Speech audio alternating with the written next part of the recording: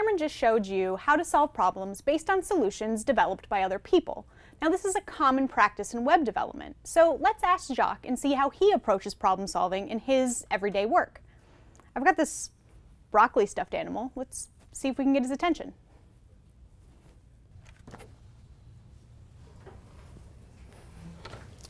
So problem solving on the web is not exactly fun, but when you run into an issue with HTML or CSS, the chances that somebody else has run into that same issue are pretty good, especially when you're starting out.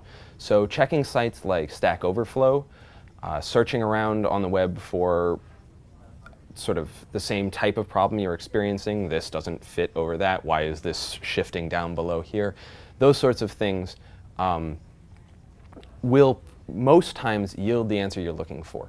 Uh, one of the great things about the fact that there are so many people doing web development is that those people run into the same types of problems. So go check out Stack Overflow, go check out the web. You can probably find the answer that you're looking for.